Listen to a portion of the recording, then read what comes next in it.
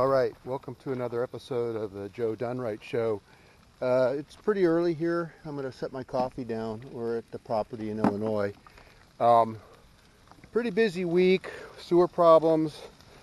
Uh, we cleaned up this area, which looks really, really nice. I mean, this area was totally overgrown.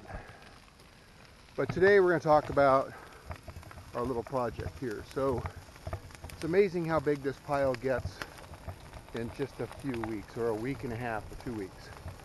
Uh, it's really wet out here. The dew is heavy. I've got the hose, a little bit of a breeze, which is actually okay, blowing towards the lake.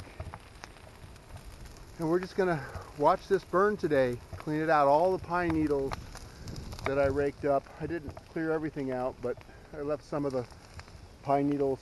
Uh, but this was all totally overgrown and it's really starting to come together and um, we had to take out like three huge trees, huge and relatively. I mean, the biggest one was probably eight or 10 inches in diameter down by the sewer uh, where the roots had gotten into the sewer and uh, plugged up the line. And they had an RV dump that we talked about that was a mess too. So we're gonna just kind of watch this. We'll check back in with you in a little while. It's gonna burn slow. It's pretty wet, pretty green.